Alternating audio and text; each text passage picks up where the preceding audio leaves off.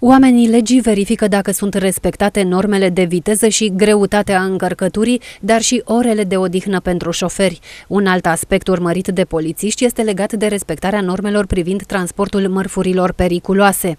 Autovehiculele pentru transportul persoanelor sau mărfurilor vor fi oprite pentru control în această săptămână de polițiști rutieri.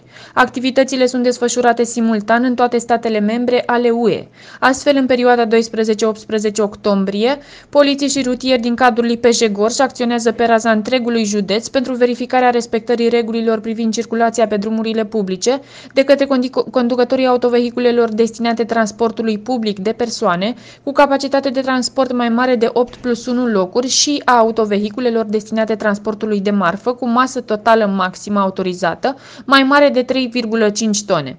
De asemenea, în cele șapte zile, controlele polițiștilor gorjeni au în vedere respectarea de către conducătorii auto a vitezei legale, utilizarea centurilor de siguranță sau a dispozitivelor de retenție, funcționarea corespunzătoare a aparatului tahograf, respectarea perioadelor de conducere ori de odihnă, documentele obligatorii ale conducătorilor auto, ori ale autovehiculului, ori cele ale operatorilor de transport. Activitățile de control sunt organizate simultan în toate statele membre ale Uniunii Europene, conform planului de operațiuni al Organizației Polițiilor Rutiere din Europa.